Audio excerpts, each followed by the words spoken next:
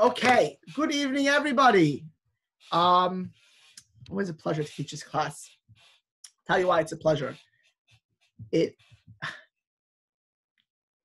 uh, even actually just I'll start with you who just mentioned. I I had shared this video, uh, a small clip on YouTube. I won't I won't I'll, I will not be a spoiler in case anyone didn't see it. Someone wants to see it. It was thought provoking, existentially provoking. We it was a thought provoking video about the meaning of life any day of the year.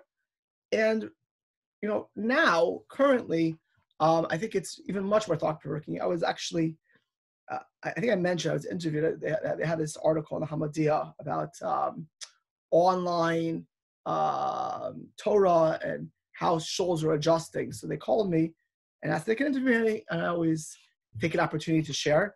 Uh, and I told them, you know, besides locally in the shul, what I found to be amazing is I've had um, random individuals uh, contact me, uh, email me, people who usually don't think about more existential things.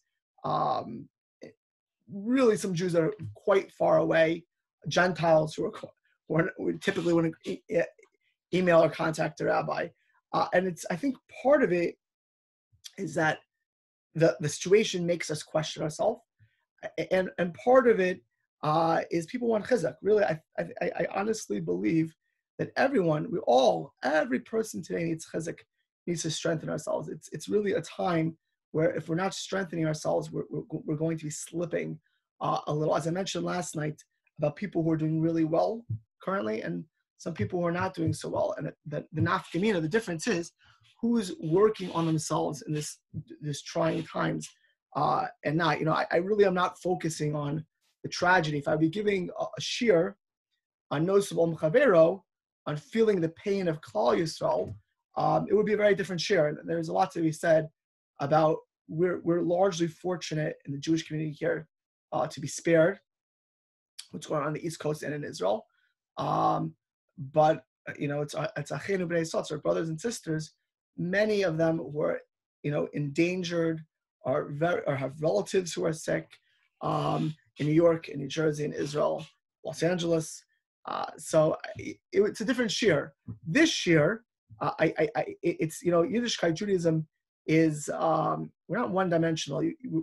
There, there are parts of us that should be feeling the pain of our brothers and sisters, and that's a noticeable chavero.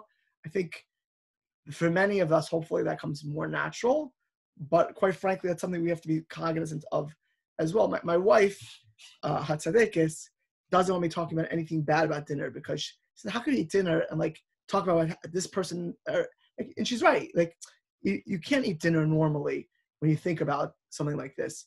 Um, but we're focusing on bitachon. So it happens to be, I think everyone today needs to be talking. So I, I, I, sent this email just to get back what I was talking about uh, out, and it was you know largely to a, a mixed crowd, mostly uh, Jews who probably wouldn't you know uh, going to Torah sites, to say the least. So one of them is actually an interesting person, somebody I've got to know over the past year. He's a very high level, um, I'd say he's a consultant. I mean, I, I met him through acquaintances and uh, just, you know, he, he advises Lakewood on how to fundraise and other major organizations. He was a very big person. The YMCA, a very fine person.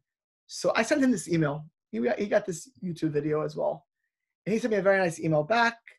Uh, and then he said to me, you know, I hope that, you know, you know I'm sure it's very challenging. You know, I hope you, you he's obviously liking me for a reason. No, you're using leadership and wisdom, etc., etc. So I said to him, I quoted Napoleon Bonaparte. I said, the, the what I view today uh, as one of the main, if not the main, role of a rabbi is to be a dealer in hope. Like Napoleon once says that a true leader is a uh, is a leader of hope, a person who spreads hope. Uh, because if you don't have hope, then forgetting if forgetting anyone else, uh, forgetting you can't grow, you can't win. If there's no hope, you give up, you throw in the towel. Um, so he let me, he, you know, I'll just I'm gonna jump into what the point he, he emailed back. Said, Rabbi, thank you. I love the quote from Napoleon. you might enjoy a new book about Winston Churchill. He doesn't like it, but I like Churchill, but I haven't like Churchill. Uh, and his first year as Britain, and his first year, the first year as Britain entered the war. Now, for those who don't know, uh, year one, the su- first summer, as Napoleon, uh, as Churchill becomes, uh, if you were a betting man, uh, England is going to be annihilated by Nazi Germany. Uh, they had already got completely destroyed on the beaches of France. They had they had surrendered. The Germans actually had plans to first blitzkrieg London and then have an amphibious attack onto England. Uh, it's one of the great historical questions uh, why they didn't. One of the reasons, which is factual, is that Churchill took over and they actually, at some level, England started to fight back and they were concerned because of that. Uh, but that summer, the summer of 1940, it was a very dark summer in England. So he says you would you would enjoy a book about Winston Churchill in his first year as Britain entered the war. It's called The Splendid and Vile by Erik Larson. Gives quite an insight how strong he was during the crisis and his ability to give the English strength. Um, and you know, as I said, I really believe that uh, what we need to be doing is to be masters of bitachon now, um, because you know, panic, uh, fear is contagious, negativity in general is contagious, and it's not helpful, and it's not Yiddish. It's really not a Jewish thing. Uh, you know, it's an actually amazing thing. Uh, this Shabbos, you know, I, I, I'm I'm I, am i am not a. I'd love to be giving a Shabbos Gadol Hatrasha, and uh, but it's Yud Nisan. That's the year of uh, during when we left Egypt. It was Yud Nisan. So like I, I hope we'll have a Yeshua this shot this this this this, this coming week, and the Shabbos is just like a Shabbos Hagadol and Yud Nisan. Uh, but it's an interesting interesting thing that if you're the Jewish people, uh, it, it, was Shabbos Hagadol because it was that Shabbos the Jewish people took what would be the Paschal sacrifice, would be the Korban Pesach. They tied it to their beds and when the Egyptians asked them, What are you planning to do with this? They said, We're planning to shecht it, to slaughter it. Uh, as you know, the ram uh, was the god of Egypt. The mazel of Nisan is the ram. It was the month of this. So it was their god in their month. And of course, Jewish people did it. When you think about this, beyond everything else, you have to have no fear. Um, and, and, and as I mentioned, the people who left Egypt were people who really had no fear, people who had true ability to, to focus on God with no fear. And whether it's the people you're talking to or yourself or anyone else, I think the really what we need to be doing right now is being hopeful. I, and I spoke about the Ramchal, the power of hope, power of tikva, um, but I believe really this is the time of year where, where, where that, that is our, our general avoda in general this time of year, uh, and certainly now. So I want to get into the to the what we're supposed to be doing. And I've been giving these long introductions, but I think the introductions themselves are worthwhile um, because talking about the time period uh, as you come into Pesach is nothing for no reason. And I, you know, I honestly I'm gonna one more thing. You know, I, I didn't mention this, uh, but you know, my some a couple people, not from San Jose, did did tell me that uh, they were strengthened. Uh, it's been going around that um, that the Lubavitcher Rebbe, my grandmother's my wife's grandmother's third cousin, is married to his third cousin, is my other grandmother's other third cousin. Um, when when she when um when when when his wife passed away, the Rebbe had every year he had every single year. He had a seder. It's, it's an amazing thing. He, you know, he was a rebbe of tens of thousands, uh, and he had a seder just him and his wife. Nobody else. Lubavitcher Rebbe uh, and his wife. Nobody else. Nobody else. And the year she passed away, I mean, he could have had, if he wanted to have a tish, for farbrengen in, in, Chabad terms, he easily could have had 10,000 people with him. I mean, would, who wouldn't want which Lubavitcher Chassid wouldn't want to be with the Rebbe on the Seder. They would all go if, if that's what we would have. We didn't do that. He'd have 10 people, he'd have 100 people. It was just the Rebbe and his wife. His wife passed away in, in 1988. It was known that he was very close to his wife. Uh, was super close. His wife's father was a previous Rebbe. And everyone wanted to know, like, uh, what he would do that year. Uh, so I, am going to quote. This is this is Rabbi Pini Dunner wrote this story up, um, but he wrote it from Rabbi Y. Y. Jacobson, who saw the, the whole Maisa, uh, saw the, the whole ha- story happening. To the following thing.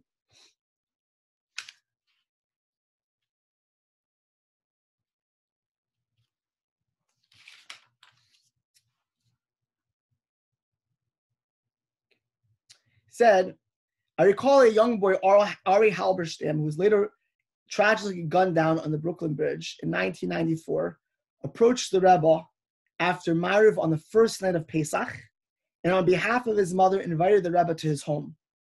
Ari's family lived at 706 Eastern Parkway, just one block away from 770. 770. The Rebbe smiled at Ari and shook his head. He thanked him profusely, but told Ari that he would be having his Seder in his private office in 770. I was a yeshiva student at the time, continued Rabbi Jacobson, so I'm a first-hand witness to this story. In fact, the Rebbe's long-time standing assistant, Rabbi Leibel Groner, offered to stay with the Rebbe, but the Rebbe sent him home to have Seder with his wife and children. And so the great Lubavitcher Rebbe, the man who inspired countless people around the world for their Seders, who personally undertook to provide meaningful Pesach Seders for the Israeli army personnel who are on duty on the first night of Pesach via Shluchim in Eretz Israel, had the Seder on his own. Not one person was present. As the Talmud says, if you were on your own, you ask yourself the Manishtana questions. And then you, a- and then you answer them to yourself. A few of us yeshiva boys did not go home that night. We waited outside in the streets and after a couple of hours, the Rebbe opened the door to welcome Eliyahu Navi and two hours to say Shfoch Chamascha. He walked outside holding a candle. It was Yom Tov and not Shabbos. And a Haggadah said the prayer and gave us a wave. And then went back inside to finish the Seder by himself. He could have had a Seder with 100 people, 1,000 people, or 10,000 people. He personally arranged for all the army seders in Israel to be sponsored. He was responsible for hundreds of thousands of people celebrating Pesach on Seder night. Of course, Chabad, one of their big things is the Seder night. From Kathmandu to Alaska, from San Francisco to New Zealand. But at the end of the day, he went and did a Seder on his own. He didn't need anyone to be close to God. He didn't need adulation. He didn't need validation. He sat alone and relived the exodus from Egypt. And he talks about how he believes that one of the reasons Rebbe did this is that for anyone who would ever have a Seder by themselves, the had himself has said. But I, I, I, I, I believe, um, and I don't think it's a, it's a contradiction for his uh, idea, is that the, the Seder, it's really, if you're, if you're around people, that's great. And, and that's, and there's a lot to be said about that. But there's something that you could lose. It, it, there's an ability to connect to Hashem on your own. You know, when I was when I was in yeshiva, one of the people I went to when I was in the Mir yeshiva was Wolbe, who I give shiur with on Monday nights typically now at Ali Shore. He writes an astounding thing. He says, when you learn Musar, when you learn books of ethics, the best way to learn Musar is not with a chavrusa, not with a study partner. Because if you learn it with somebody else, if you study it with somebody else, you could say, let's say you study arrogance, gaiva, uh, anava, humility, kas, anger. So you talk in third person. You know, if you're angry, if you're this. So he said, you know the best way to learn Musar is? You learn to yourself. I have to work on this. And there is a my law a plus about being able to connect to God on your own, being able to feel Hashem on your own, and really the Seder and the situation that we're all in. I, I mean, honestly, I mentioned last night not hearing the news for three days that the lady mentioned to me. For me, I don't want to hear the news for three days because I, I, you know, I'm, I'm listening to news. I'm not listening. I'm seeing the news, uh, whatever on internet. You know, more than once a day now. I think it's important to know. But on Pesach, I just want to be with Hashem because I don't want to know what any pundit or what's. I, I just, the extent that I can, and I think for all of us, it's just to have that kirva Hashem. I think this situation that we're in uh, is breeding grounds for that. For that. So the Nesivos Shalom says we're talking about again the mitzvah Sipur Mitzrayim of talking over the, the, the, for the Pesach Seder, which is all about emunah, all about faith, all about closest to Hakadosh Baruch Hu to Hashem. He's going to say a very tifa tifazach, very deep thing. Ve'afilu maharizah Hakadosh. The Arizal says, "Shegalas Mitzrayim." Now, and I said a, a, few nights ago, from darkness comes light. It's the, the same. It's one day. After night comes day. So with Hakadosh Baruch Hu, even the challenges, even the difficulties, there's always, always, always a reason uh, for that. There's always a purpose for that. Uh, and the Galas Mitzrayim, the Arizal HaKadosh, the famous Rabbi Isaac Luria, the, the founder, the spreader of the biggest spreader of Kabbalah, in, in, you know, since Shimon Bar Yochai, most likely. You know, the Arizal said, "Shegalas Mitzrayim haisatikon al pegam dur hamabul, dur haflaga v'dur enish." Whoa, three things. That the exile of Mitzrayim was a specific rectification for the generation of the uh, flood, the deluge, the duration of Migdal Bavel, the, the dispersion of, of, Babylon when they tried to build a tower, the languages were changed, and the ability of Enish, who started idolatry uh, in this world. Then when Enish started idolatry of Vodazah, so the Gemara says, the Rambam brings it down, originally they didn't pray to God, they didn't pray to uh, idolatry, they prayed to the, the powers in the constellations, thinking that praying to God is not always necessary. We'll pray to the subordinates. We know God's in charge. We won't bother God so much. And then eventually, you know, you prayed uh, to, they forgot about God and only focused on the subordinates. For these three things, the exile Mitzrayim had to happen. Hatikon, the Dura uh, Hamabul, what was the tikkun Mabul? That every Jewish child was thrown into the water uh, for a while. For Haflaga, that V'yavdu, Oysam, that they try to build bricks, that they had, they had to build the bricks. They were building a tower to, of Babylonia to reach up to the heavens, so they had to build the, the, the, the bricks in Pitum and Ramses. Uh, but the, the main thing was a Varazara idolatry of, the Dor Enish. Like an Amar HaKadosh Baruch Hu, Mashchu ukechu lachem. Right? You had to say, Mashchu, take, uh, take uh, uh, these, uh, uh, you know, the, uh, pull, pull yourself to Mashchu, Yedechem, Ma'avarazara Shazet is a tikkun Dor Enish. Vapi, Diva Yesh Od, Kar Marvelous Saper, Yitzias Mitzrayim, is also for taking. So I just want to say one thing. It's an interesting thing. You would think that Enish idolatry, they weren't necessarily Jews. The Mabul, we're talking about the generation before Noah. I mean, that we, we come from the we're Semites. We're from Shem, right? We were we were saved. Uh, the Haflaga, we're from Avram. But this is important for all of us, and this is always we are always affected by the world around us. If the world around us is consumerist, unfortunately, the Jewish people will become more into the material world because we're affected by the world around us. We live in a world.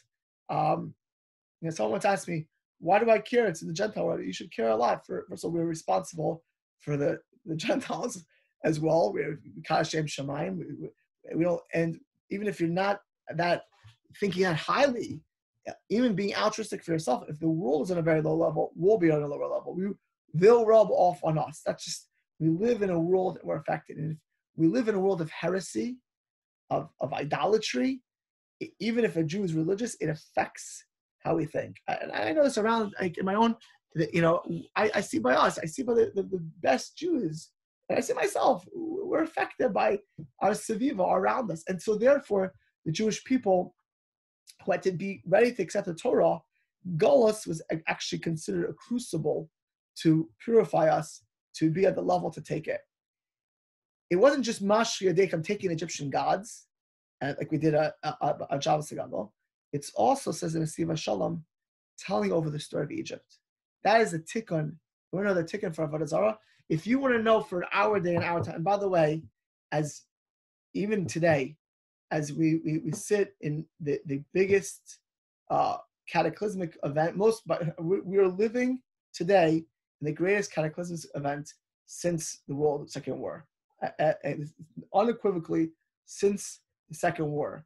Um, but we're surrounded with kfira, with heresy. It's and, and, you know it's all about China or politicians or cures. There's no where Hashem is not mentioned.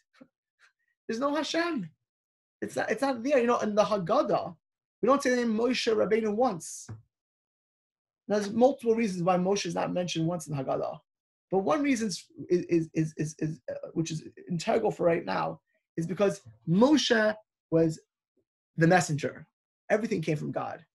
And if Moshe, who was a human messenger who we were able to see, was just the messenger from God, the greatest person to ever live, certainly what we're seeing now, we should be, we need to be machazik ourselves. We need to know. Yeah, everything comes from Hashem. Therefore, tomorrow things could, could be could, could be fixed. Really, it could be fixed. I, I, I, you know, if I had the time, I could tell you stories of Tanakh, which which are very similar. Which I, I don't have the story of Elisha in the city. You know, when they're doing the plague, plague of um, by by Horam and Achav. There's many things, but tomorrow can be fixed. So we, we live in a world today, you know, even in this thing. So don't think it affects us. When we read the news, when we when we when we see the reports, of course it affects us. Of course it affects us. Of course it makes us feel, you know, like this is just, you know, what's going to be. Will it be three months? They canceled school today. That really affects me, right? You know, whatever it's going to be, you know. Uh, but it's we forget about Hashem and telling over Sipur Yetzias Mitzrayim, talking about Hashem, even by yourself. and I will say, I, you know, because you know, the Jacobs with a lot of Shabbat his own seder, he didn't need a, he didn't need a, vali, a validation. He needed he sat alone and relived the Exodus to Egypt, which is in our own day and time. And Sipur Yitzis Mitzrayim is a tikkum the Pagama Barazara. Kmoshe Kosev, like the Maharal says in Chag Pesach, is Chag Hischaskus Be'emunah. Pesach is the Yom Tif of strengthening the Emunah of Al-Kain. Sidur Lanu Chachamim Balayla Hazeh, Es Kol Seder Ha'avodah Hazais. Our, our sages um, on on um, uh, on this night uh, told us all of the avodah. Shinyane runs in elamuna. Everything is connected to, to belief. Everything is connected to faith. The whole seder is an an affirmation of what happened and our, our faith in Hashem's constant divine providence. Every Yom Tif, every holiday has its own focus, its own, not just a focus, has its own spiritual res- reservoir, which is relived in that year, which is in the world itself, in, that, in, this in this time. And Pesach is all about Amunah. It's a night where an individual can work on Amunah. Uh, that's what we say, Vafilu Kulanu, Chochamim, Ochulam Nevodim. It's a mitzvah to do it. Even though we don't, as I mentioned last night, you don't need to, it's not the knowledge, it's the Amunah that we need. I'm going to go, I'm probably going to finish like 9 15. If you have to go, you have to go. Uh, but I, I, do want to finish. I, I will ask, I, am considering, if people are interested, to still go Sunday night and Monday nights. Um, and that, that's one of the reasons I want to go further. If you can email me, if you're planning to, uh, you know, I can still give it me and Hashem. Maybe I'll give it on Zoom by myself. But if you're planning to tune in, let me know. Okay. So, and as we explained, everything about the, the night of leaving Mitzrayim is nuchol lahaven es mashmo. It's a gewaldig gazak. He says an amazing thing. He says that's shot. That's the explanation of why we start the seder with what seems to be the Sipur Yitzis the mitzvah Torah, the biblical mitzvah. That, that, you know, we cl- we make the house clean for Pesach, you know, to have no chametz, that we should be at a seder and have Sipur Yitzis time with only matzah and no chametz to get this idea of Amunah. How do we start the grand old seder? You would think, you know, something of Amunah, something of the story of Mitzrayim. What do we say? We say halach I'm showing him this Aramaic tefillah, which is like a mix of ideals. What in what What are we talking about over here? Why and why start the whole seder of Yitzipur Yitzis Mitzrayim with ha lachma anya? Gama hikshu mafarshim. He says also the commentaries ask al omru di achlu avasanu b'mitzrayim. We start with a with a matzah that our ancestors ate in Egypt. Hello, matzah is When we have matzah at the seder, we're not talking the matzah of subjugation.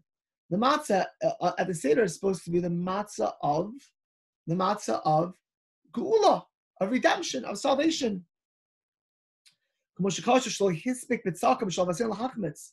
Like we know that they, they had to leave so quickly that the matzah presents leaving quickly.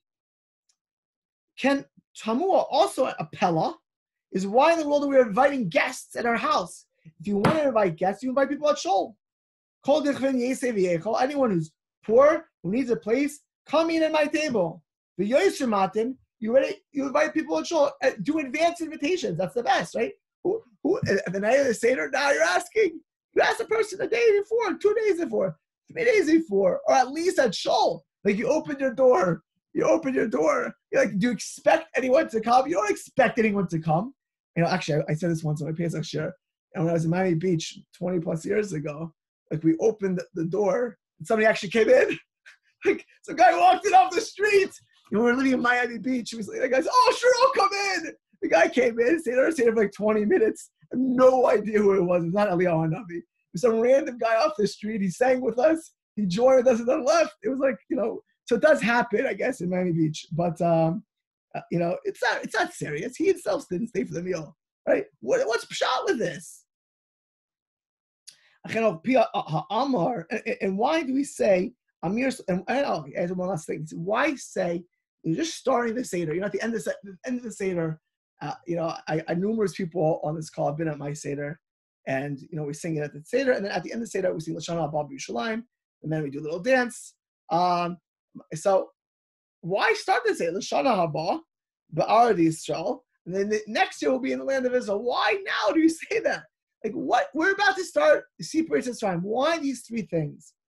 Says the Nesivos Shalom, and it gives a beautiful shot, beautiful explanation.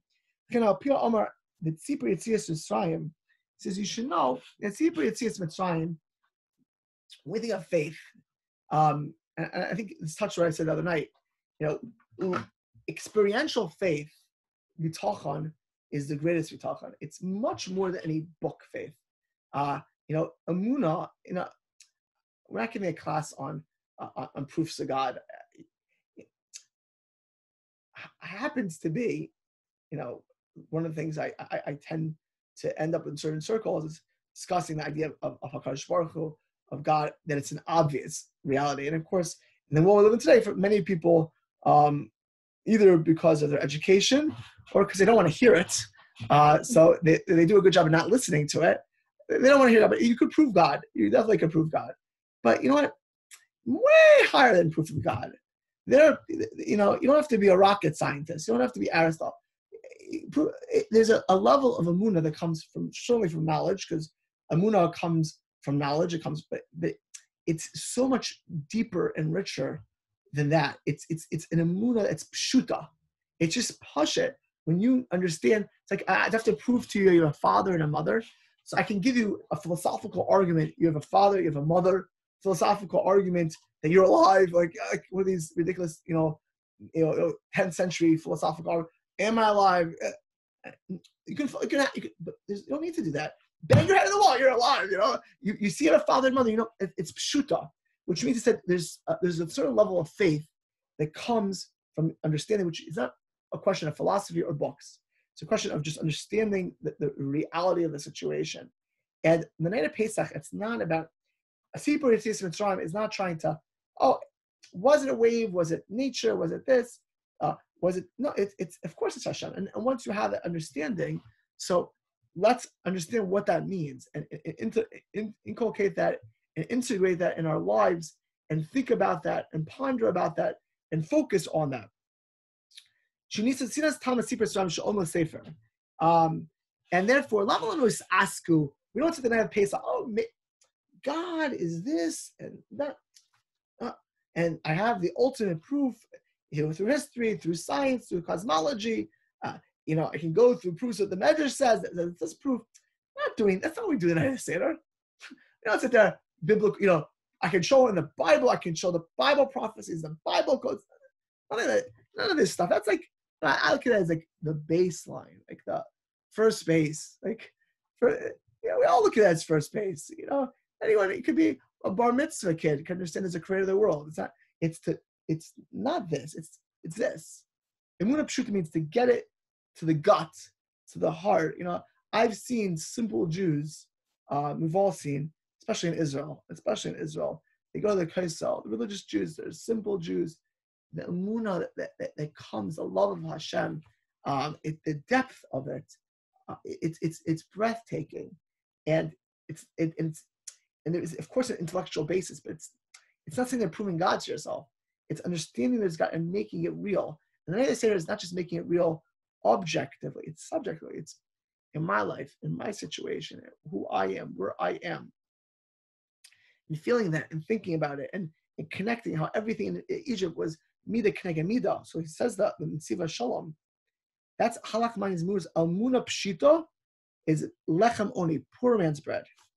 Just plain faith. The achlu of mitzrayim. Pirush v'koyach amuna pshuta hazos. It was that amuna that we're going to get out. Like you know, I, I need to know how Hashem will redeem us. I know, I know Hashem's going to redeem us. I need to know how Hashem is going to, you know, put me where I'm supposed to be. Yeah, me just an amazing story. Actually, just, my wife reminded me of this other day. It's such an amazing story. It's somewhat connected, but still an amazing story. She told me that her teacher, her name is Rebbetzin Tarshish. Rebbetzin Tarshish today has a, one of the best um, girls' seminaries in Israel called Mesoras Rachel. My wife went to seminary. She went to seminary called uh, and she was her teacher in Bnos Chava. Uh, so quite a few years ago. So she said that Rebbetzin Tarshish, her grandfather is Rabbi Sorotzkin, was a Rabbi, Rabbi Baruch Sorotzkin. It's a big Rosh Yeshiva of Telz, know, great grandfathers of Zalman Sorotzkin and the great Gedalim and Kalai. So Rebbetzin Tarshish herself is a very, very knowledgeable, smart lady. She said the following thing. When they were running in the Holocaust, they didn't know where they were going to end up. They had no idea where they were going and how they were going. They were traveling, they were going through Lithuania. They would eventually get through Russia to, I think, I think through Japan and out, and out, but they had no idea where they're going to go. And uh, she's not, I think she's not, she's a Baruch brother, uh, the difference of Zalman Sorotzkin's her grandfather. So in know where they're to go. But she said her grandfather, Rabbi Sorotzkin, wherever they went, wherever they went, he would unpack and start learning. It could sometimes they were there for one night, and sometimes they were for three months. They, they had no idea. And other people, she said, they would go there. They would never unpack because who knows how long we'll be here. And uh, they would they sometimes they're not unpack for one night. Okay, no big deal. But sometimes it's three months. They still don't unpack. Maybe tomorrow we're gonna go. And she said uh her grandfather felt that wherever Hashem wants us to go, we'll go. We're, we're, where I am today, where I am right now, that's where I'm supposed to be. And I'm going to make the most of exactly where I'm supposed to be. I, am telling you one thing. Him unpacking, I'm may have taken a little more time. I'm positive. He, if, when you think about Limud Torah, learning Torah, he learned better than anyone else. You know why? Because when you're you're somewhere, I don't know, am I going to be here today? I'm to be here tomorrow. If you're living the moment, if you're saying right now, here's where I am. This is where I'm supposed to be. I'm to unpack whether I pack leave tomorrow, I don't know. That's that's you don't need to be a, a, a, a that's a muna that Hashem puts you where I'm supposed to be. You don't have to sit there and figure this out. But it, but it wasn't here. It was here. It was here. It was in the gut. It was in the heart. Is if this is where Hashem wants me to be, I'm gonna pack. I'm gonna learn Torah, and when I, and if I go, I go. That that's uh, an amun. I'll be talking that it's accomplished by the Seder that it's called it, it's Amuna Pshuta. This is where I am. That's where Hashem wants me. We're, we're the place. Uh, we're all uh, each one of us. The Seder we're having this year was the Seder supposed to have. That where we are right now in the world is where we're supposed to be. What we'll do with it, it's up to us.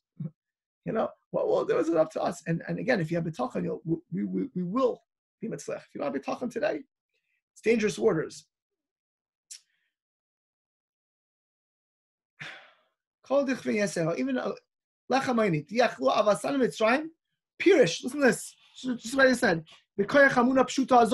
How were they redeemed? Why were the Jewish people? Because they had this emunah. They got out because of emunah pshuta. I think Edison, I remember the exact quote he said. He said, basically, many people never realize how close they're getting to successful. He talked about himself. He himself could have given up. He'd taken a thousand plus times to to to to, for his eh, eh, adventure with electricity. Right? You can try and try and just give up. You know, if they had the Klal Yisrael given up, if they didn't have a Munah Mitzrayim, they would have never got out. It was the koyach of Amunah that gave them the spiritual sustenance, that gave them the merit to get out. And therefore we say this. So the lechem only is emunah pshuta. Anyone who's poor, come and eat. What does it mean is anyone who's hungry? And this applies to every year, but it's only this year. Call lo rav lechem. Like the Navi says, in the future, people won't be hungry for bread. Not for not for not not for hungry. Don't come to the Seder for the bread. There's no bread. What? You're getting matzah. You're gonna get matzah in two or three hours from now. You're ready halachmanya. You, you know, you know, invite someone to come in, and if you're hungry, the meal's in two hours. The meal's in three hours. Yeah, you're not eating now. Who? What are you inviting somebody for? What are you hungry for? It's call me that you're you're ra'ov, um, Hashem.